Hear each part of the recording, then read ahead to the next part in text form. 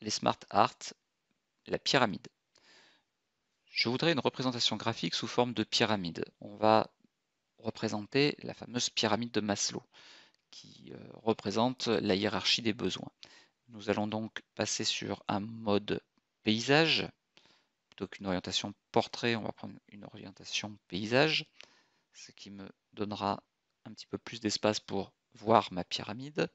Puis euh, je vais demander un schéma de type pyramide. Donc on va aller dans Insertion, Smart Art, et là j'ai dans les catégories une catégorie pyramide. Je vais choisir cette pyramide-là.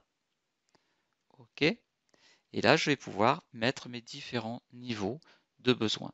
Donc on va commencer par les niveaux supérieurs, les besoins d'accomplissement. Puis en dessous, on va mettre les besoins d'estime. Puis en dessous, les besoins sociaux. Les besoins de sécurité. Donc vous voyez, il suffit d'appuyer simplement sur Entrée pour créer un niveau supplémentaire. Physiologique. Physiologique.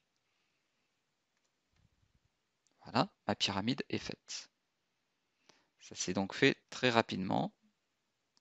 On peut tirer un petit peu la poignée de recopie pour mettre tout ça en plus gros.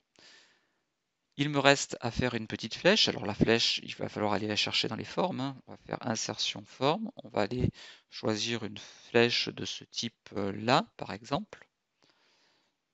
On va la dessiner ici. À l'intérieur, on va faire donc clic droit, modifier le texte, ajouter du texte. On va écrire pyramide de Maslow.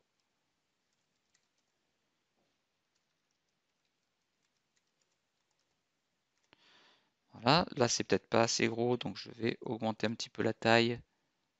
Accueil, on va passer en 16. Et je vais la tourner un peu pour que elles suivent le sens de la pyramide. Et voilà, j'ai ma flèche qui est juste à côté et qui euh, indique le sens de la hiérarchie des besoins.